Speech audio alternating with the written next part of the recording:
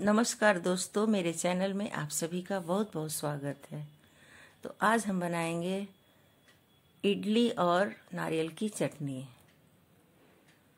तो ये इडली बिल्कुल ही सुपाच्य भोजन है ये। इसमें कोई मसाला, तेल का नहीं लगाव है और ये बहुत ही पौष्टिक होता है और ज़्यादातर लोगों को ये बहुत ही पसंद आता है। तो उसके लिए हमें चाहिए इंग्रेडिएंट्स में धुली हुई उड़द की दाल, आधा कप और एक कप चावल। ये दाल से डबल होगा चावल और इस तरह से। इसको सबसे पहले तो धो लेंगे पानी से अच्छी तरह से। धोने के बाद इसको कम से कम पाँच से छः घंटा तक सोख करने के लिए रखेंगे। और उसके बाद हम इसको ग्राइंड कर लेंगे। दोनों को अलग अलग ग्राइंड करेंगे। दोनों को अच्छी तरह से ग्राइंड करने के बाद एक बर्तन में डाल करके इसको पाँच से छः घंटे तक के लिए छोड़ देंगे। अब बनाएँगे नारियल की चटनी तो उसके लिए हमें ताज़ा नारियल लेने हैं और उसको या तो कद्दूकस कर लीजिए या छोटा छोटा टुकड़ों में काट लीजिए, क्योंकि ये तो ग्राइंड होना ही है इसको। तो इस तरह से हम कच्चा नारियल ले लेंगे, आधा कप। और तीन हरी मिर्च, पाँच से छः लहसुन की कलियाँ और एक इंच का टुकड़ा अदरक का। और यहाँ नमक डालने वाला जो है वो सॉल्ट नहीं लिया गया है। तो ये देखिए नमक इसमें डाला हुआ है, स्वाद अनुसार।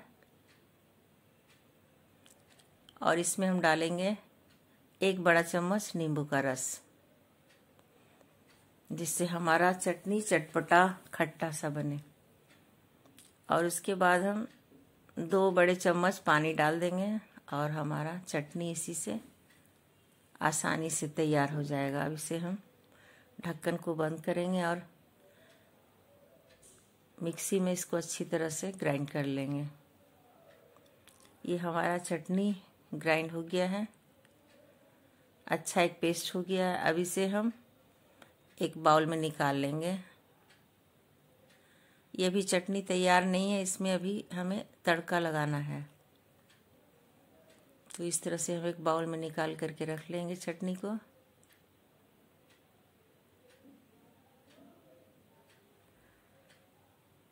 अब बैटर को देखते हैं, हमारा बैटर कैसा है।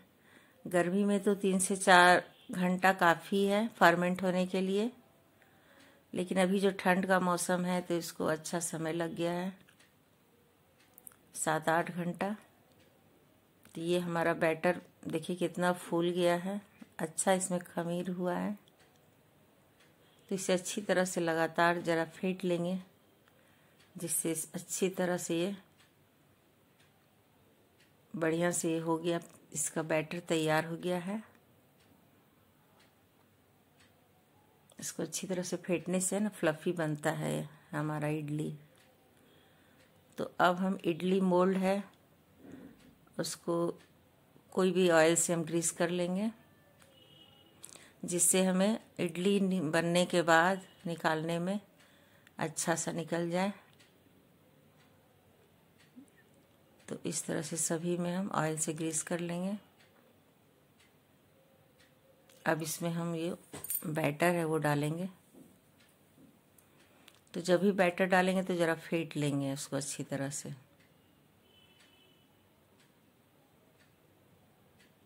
और इस तरह से हम सभी सांचों में भर लेंगे। और तब तक क्या करना है कि कुकर में दो बड़ा गिलास पानी डाल करके हम गैस ऑन करके चढ़ा दिए हैं, जिससे हमारा पानी भी गर्म हो जाए। और उसमें हम इस इडली को स्टीम करेंगे। तो फुल फ्लेम में इडली को इडली को हमें स्टीम करना है तो 10 से 15 मिनट तक। इसके बाद हाँ इसमें हमें गैसकेट नहीं लगाना है। और सीटी भी ऊपर वाला है ना, वो भी हटा देना है।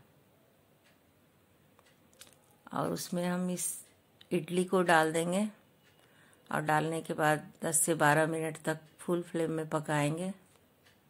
उसके बाद हमें गैस ऑफ़ कर देना है।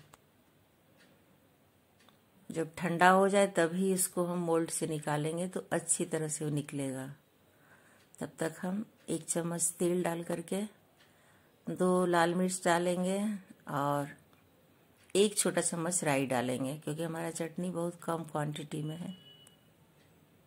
और उसमें कुछ कड़ी लीव्स डाल देंगे, जिससे हमारे चटनी को अच्छा रिचनेस मिल जाएगा और टेस्टी बनेगा ये।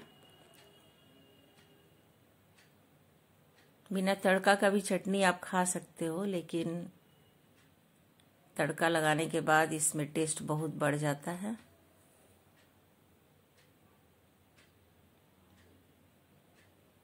तो इस तरह से हम इसका तड़का लगा लेंगे। और नींबू तो उसमें डाला ही हुआ है खट्टापन के लिए। तो ये तड़का डाल देंगे। तो ये हमारा चटनी भी कंप्लीट हो गया है। ठंडा होने के बाद देखिए इडली निकाल लिए हैं और इसे किसी भी प्लेट में आप सर्व कीजिए। ये एक ऐसा भोजन है कि आप इसे ब्रेकफास्ट में भी खा सकते हैं डिनर और लंच में भी खा सकते हैं। और ज़्यादातर सभी लोगों का ये मनपसंद भोजन है, पौष्टिक है, सुपाच्य है। तो अगर आपको ये इडली की रेसिपी अच्छी लगे तो लाइक करें कमेंट करें शेयर करें और मेरे चैनल को सब्सक्राइब करें। और बगल में जो बेल है, उसको भी प्रेस कर दें। तो इस तरह से हमारा इडली बन के तैयार है। और ये देखिए कितना सॉफ्ट बना है। और इसका आनंद लीजिए, एंजॉय कीजिए। धन्यवाद।